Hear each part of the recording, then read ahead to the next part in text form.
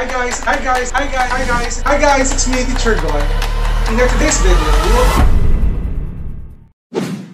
Hi guys, it's me, Teacher Gon. In our today's video, we will talk about the percentiles of ungrouped data.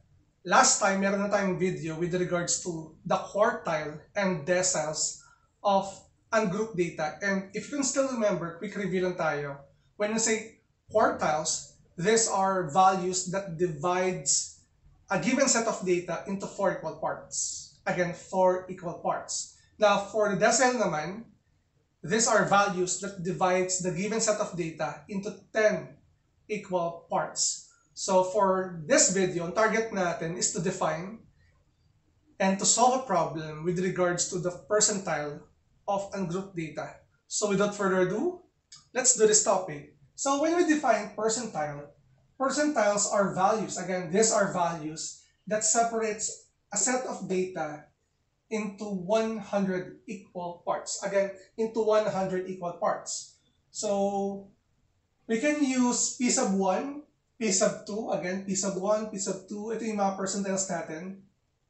Percentile 1, percentile 2, percentile 3, percentile 4, and percentile 99, sila yung mga values natin na hinahati yung ating given set of data into 100 equal parts. And sir, uh, here's a clarification. Kailangan ba yung ating set of values or yung ating given data set ay merong 100 elements? Hindi naman necessary. So, let's say for example ito.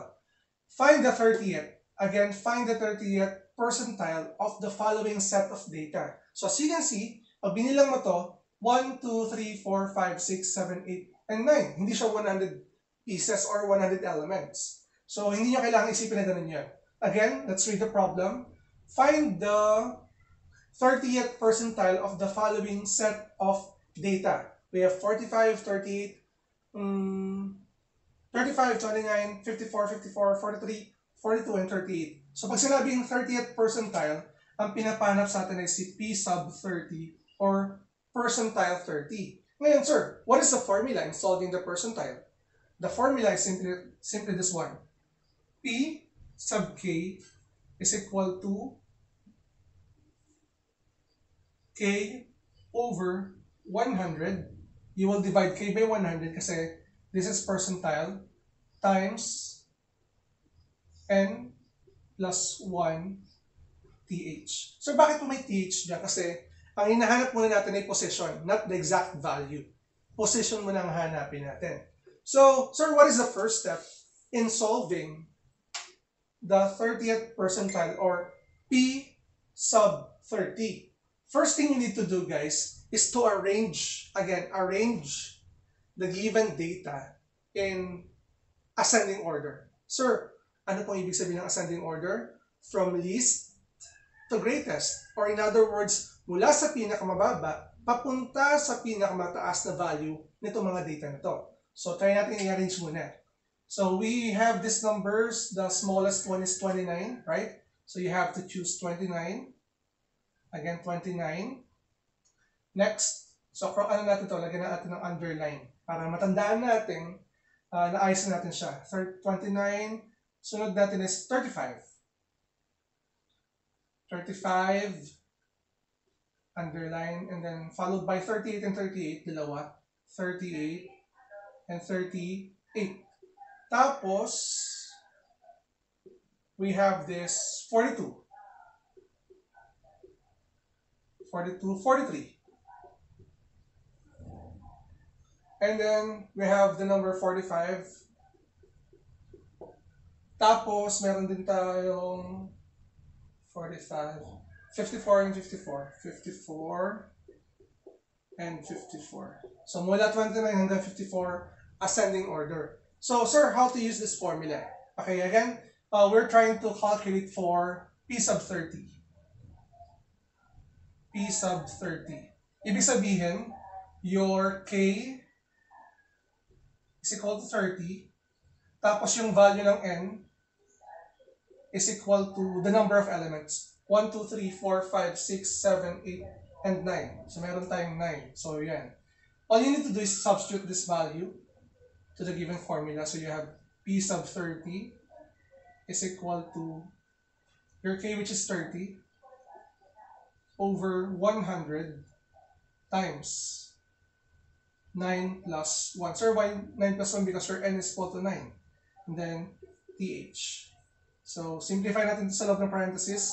You have p sub 30 is equal to 30 times, this is 10, over 100. So knowing that 30 times 10 is 300, so you have p sub 30 is equal to 300 over 100. So, th tayo dito. And then, ibig sabihin ito, ang ating p sub 30 is 300 divided by 100 is 3. Sir, yung 3 po bang yan, yan yung mismong uh, 30th percentile natin? No. As you can see, meron tayo itong th. Ah, sorry. Uh, kung th siya, uh, kung 3 siya, hindi siya th siya, third dapat. Yan. Ibig sabihin yan guys, um, yung ating percentile 30 ay manilocate natin, siya ay yung pang-third o yung pangatlo sa mga elements na inayos mo in ascending order. Again, in ascending order. So you have first, again, 300 over 100, na-clarify ko lang, 300 over 100 is 3. Tapos, since hanap natin yung position, so, kaya siya naging third. Okay? So, using this information na pangatlo or third yung position niya, ng ating 30th percentile, hanapin nyo lang dito sa in-arrange nyo. First, second, and third. Ibig sabihin, P sub 30 is equal to 38. Ang ating 38 percentile, ay 30th percentile is equal to 38. So, I hope na sa ating nag-iisang example, you already know or you already understand how to calculate for the percentile of ungroup data. Ganun lang kadali kasi hindi nyo kailangan pahirapan ng sarili nyo para matuto sa mathematics. So, I hope na natuto kayo and if you have any question or any suggested topic that you want me to discuss within this channel, feel free to comment down below. And if you're new to my channel, don't forget to like and subscribe at i-hit mo na rin yung bell button for you to be updated sa ating latest uploads. Again, I am Teacher Gon. Maraming maraming salamat. Bye-bye!